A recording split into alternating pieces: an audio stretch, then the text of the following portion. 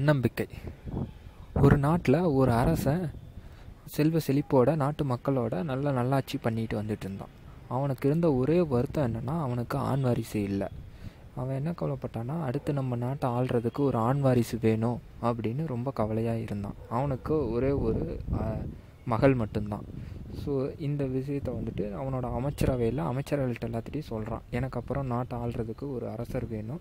So அதனால் ஒரு நல்ல அரசராக கண்டுபிடிக்கணும். அதுக்கு ஏதாவது வழி இருந்தால் சொல்லுங்கள் அப்படின்னு சொல்லி அவனோட அமைச்சரவையில் அமைச்சர்கள்ட்ட எல்லாத்தையும் கேட்குறான் அமைச்சர்களெல்லாம் கூடி பேசிட்டு அவங்க ஒரு ஒரு வழியை சொல்கிறாங்க அது என்ன வழின்னா நாம் ஒரு போட்டி நடத்துவோம்.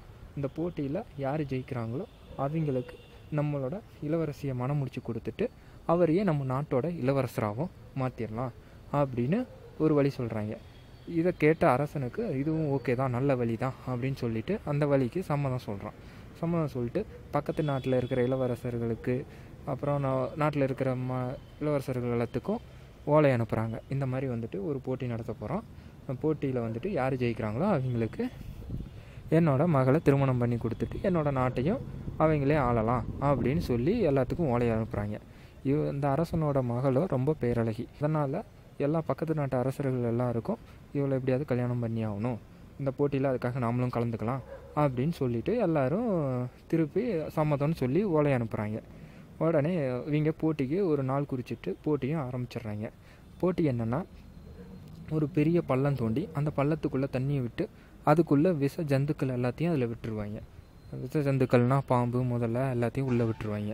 ஸோ கண்டிப்பாக அதுக்குள்ளே யார் போனாலும் கண்டிப்பாக வெளில வர முடியாது. இதுதான் போட்டி. ஸோ போட்டி நாளும் நெருங்கிடுச்சு. எல்லா அரசர்களும் வந்துட்டாங்க போட்டியில் கலந்துக்கிறதுக்கு. ஸோ போட்டி பக்கத்தில் வந்ததுக்கப்புறம் தான் எல்லாத்துக்கும் தெரியுது. ஓ இதில் முதல்ல இருக்குது இதில் போனோன்னா கண்டிப்பாக நம்ம உசுரை விட்டுருவோம் அப்படின்ட்டு நிறைய பாதி வந்ததில் பாதி பேர் பயந்து திரும்பி போயிட்டாங்க போட்டியில் கலந்துக்காமல் இதை கா இதை பார்த்த அரசனுக்கு மனசில் ஒரே கவலை. என்னடா நம்ம பண்ண போட்டியில் யாருமே கலந்துக்கலையே அப்படின்னு சொல்லி ஒரே கவலையாக இருந்துச்சு. ஆனால் இதில் ஒரே ஒருத்தன் மட்டும் போட்டின்னு வந்தாச்சு. வாழ்வோ சாவோ பார்த்துக்கலாம் என்னென்னு முடிவு பண்ணிடலாம் அப்படின்ட்டு குளத்துல குதிக்கிறதுக்காக அந்த குழியில் பள்ளத்தில் குதிக்கிறதுக்காக பக்கத்தில் வந்துட்டான். இதை பார்த்தா அரசனுக்கு ஒரே மகிழ்ச்சி.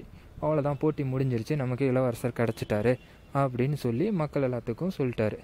எல்லாரும் ஆச்சரியமாக பார்க்குறாங்க என்னடா இன்னும் போட்டியே ஆரம்பிக்கலையே. அதுக்குள்ளே நம்ம அரசர் வந்துட்டு நமக்கு இளவரசன் கிடச்சிட்டாரு அப்படிங்கிறாரு அப்படின்ட்டு எல்லாரும் கேட்குறாங்க எப்படி? இன்னும் போட்டியே ஆரம்பிக்கலையே அப்படின்னு சொல்லி. அதுக்கு இளவரசர் சொல்கிறாரு கண்டிப்பாக யாராக இருந்தாலும் அந்த குளத்துல குதிச்சாங்கன்னா உசுரோடு வரமாட்டாங்க. அதனால் இவர் மட்டும்தான் இது தெரிஞ்சும் இவர் மட்டும்தான் துணிச்சலோட இறங்குறதுக்கு முன்னாடி வந்தார். இவர் தான் நம்மளோட இளவரசர் அப்படின்னு சொல்லி தேர்ந்தெடுத்துடுறாங்க ஸோ இந்த கதையிலேருந்து நம்ம தெரிஞ்சுக்கிறது என்னென்னா தன்னம்பிக்கை. நம்ம வெற்றி வெற்றியோ தோல்வியோ எந்த ஒரு செயலாக இருந்தாலும் அதில் நம்மளோட தன்னம்பிக்கையோடு செயல்பட்டோன்னா கண்டிப்பாக நமக்கு வெற்றி தான்.